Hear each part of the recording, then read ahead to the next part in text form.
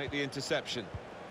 He's come into this area, into his own midfield to collect the ball. Rather deep position, but Raheem Sterling steers it through. Never panicked, placed it past the goalkeeper. excellent